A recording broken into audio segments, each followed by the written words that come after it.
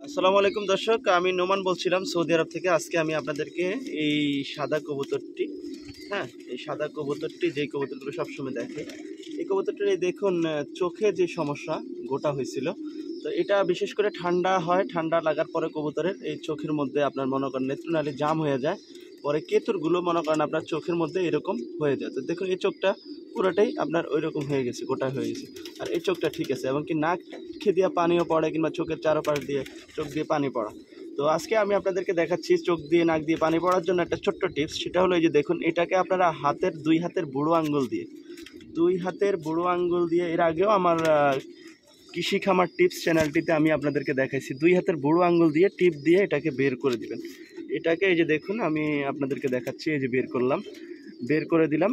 এরপরে আপনার চোখটা এখনও ঠিক আছে, আমি খুবই দ্রুত বাইর করতে পারছি, আর একটা চোখের উপরের অংশ হচ্ছে।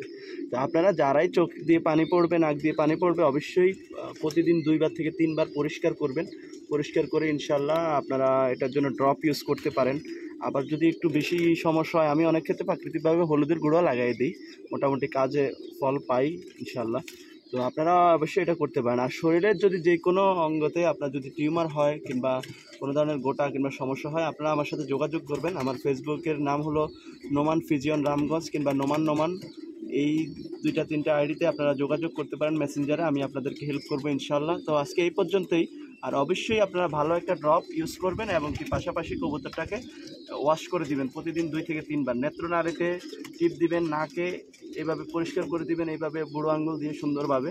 ইনশাল্লাহ আমি মনে করি যে কোনো একটা ভালো ড্রপ ইউজ করবেন। আর ঠান্ডার জন্য যে কোনো একটা কোর্স করে নেবেন ইনশাল্লাহ ভালো কিছু পাবেন।